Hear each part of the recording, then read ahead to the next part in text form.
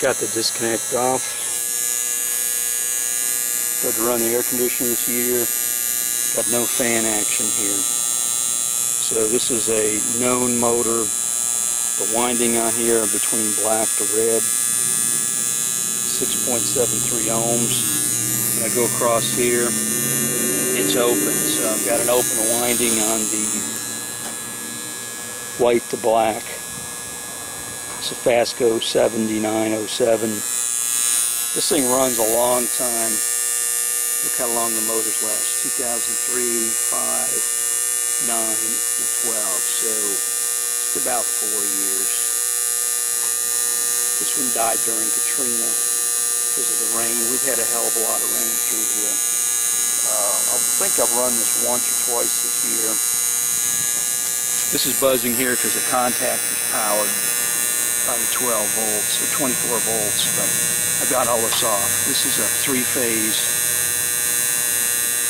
uh, air conditioner, 240 high leg delta. It's kind of strange because they, uh, when you get the contactor on, the high leg isn't switched on it, which is kind of screwy. So they're only switching to the legs, two the phases. The other one's hot, which is kind of probably not proper. One note here, if you're marking here with a stupid dumb slice fed pencil, it's not going to fade. If you use a Sharpie, the Sharpies tend to fade with UV light there's UVs on there, but pencil works really well. So I need to get a new motor.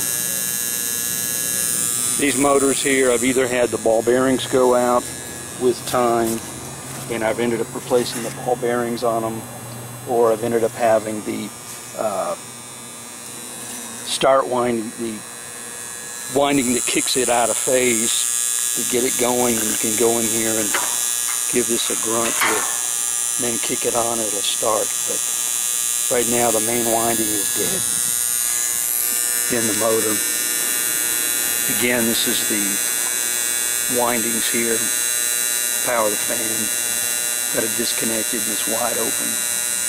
It could be broken down in here, but it hooks directly to the motor. And I put that motor in there. This is a carrier round unit from 1985, three-phase, five-ton. And there's a disconnect, old fuse type. Fasco D7907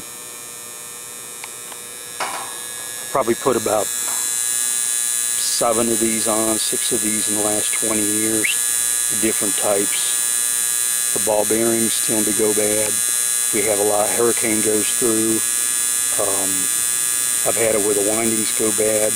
I've had some I've taken apart and, you know, put new bearings in them. This is since I've been keeping track inside here, this is three. Hey, I wonder which filter I just changed.